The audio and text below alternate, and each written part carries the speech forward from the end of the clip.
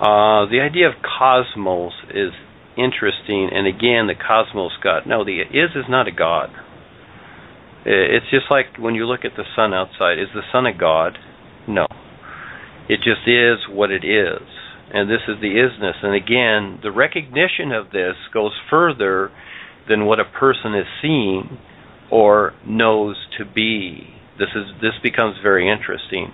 And there's much more to it than that. So again, uh, very few people will recognize this. So it becomes so unrecognizable according to the personal senses, the mind, etc., that it's just easier to just make the statement or claim that, oh, I don't believe this, it doesn't exist, there's no such thing.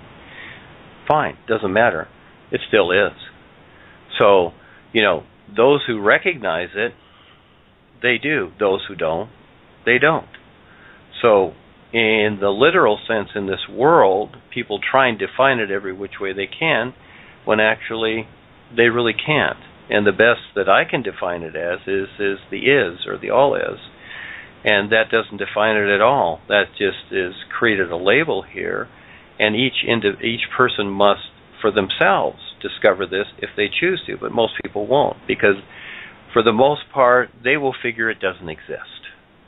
And as we uh, look at the look at the uh, the so-called levels of life and the scale, and Paul uh, drew them out too. Uh, you have the five psychic uh, uh, levels: the physical, astral, causal, mental, etheric, and then you have what I call the the sixth level, the deep dark border. Okay, well within that we have all these definitions, and so basically this is the this is the the bubble of creation that most people refer to. Beyond that, nothing exists for people because it cannot be defined.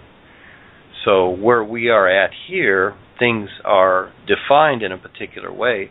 So, all we can do, all I can do, is refer people to start to test for themselves what else there is.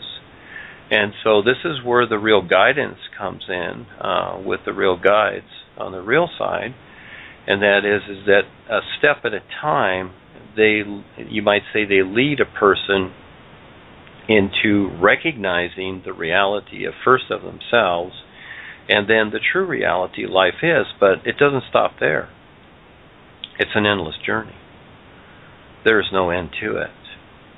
And so uh, as we're uh, all sharing our experiences and ideas here many times there becomes a lot of confusion and so it's just like uh, you know a captain sailing a ship across the sea.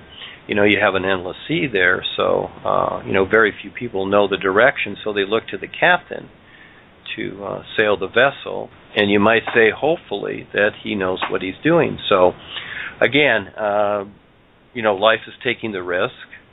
Uh, like you had the question there, do people believe me or not? Well, again, it's it's really not about me.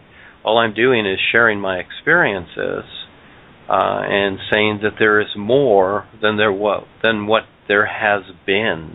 That's what I'm saying. But uh, you know, people get stuck, and it's understandable with what is created in the past, and we see that all over the earth.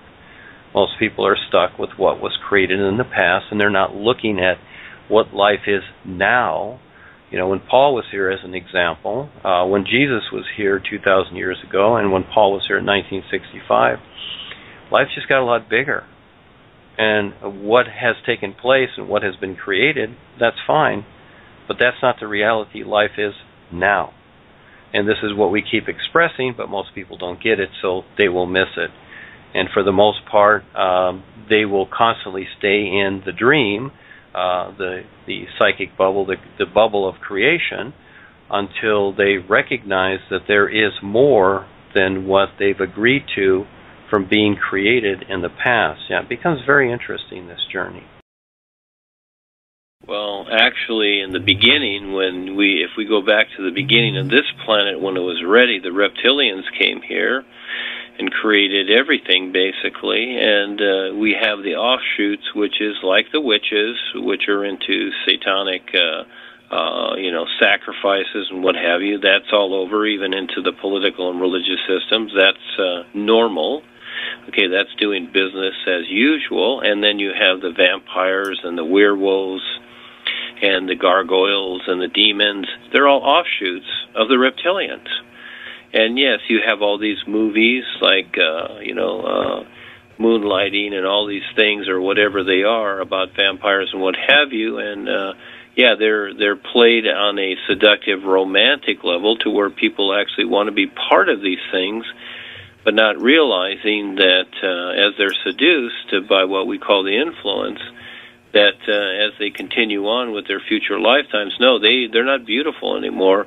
They become hideous, uh, like gargoyles and lizards, uh, because you evolve downwards, you might say, and this is what has happened to the reptilians.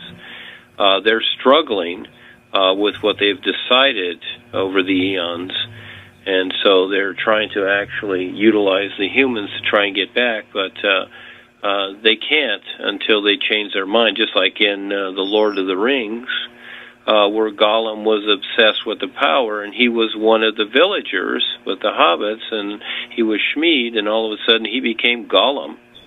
Uh, because of the power aspect, and you see it in this movie too, chasing uh, some kind of power idea, some kind of control, of a physical nature, and the end result is always the same. And that's very real. That's cause and effect.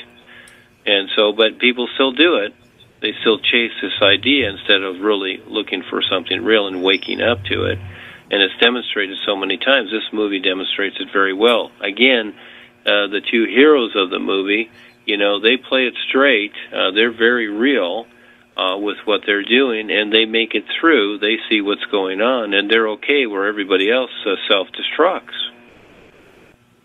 And for many more lifetimes too. This is what is not seen because there is a veil drawn. You don't see lifetime to lifetime, and most people do not have the awareness to see through uh, this dimension. They become one dimensional, uh, but they did uh, portray a uh, a dual dimensional aspect here when they showed uh, you know these uh, the guys basically going over into the astral realm and sitting there watching all this. This is very real too. It's very very real. It's just that with the human eye most people don't see this but it's really taking place all the time. Uh, there are astral people all around here uh, that uh, see what's going on. And you know everybody meets them in their dreams but they don't know what's what's taking place because most people de- have decided that their dreams don't mean anything anyhow but they've really left their body and went into another dimension. So this movie does portray that very, very well. Everything is exposed, uh, just like in this world, uh, everything is exposed, but who's paying attention? So again, the world goes into a demise, and many, many in- innocent people get caught up in this, and people don't have to do that. Do the new you and wake up, or stay lost. Uh, your choice.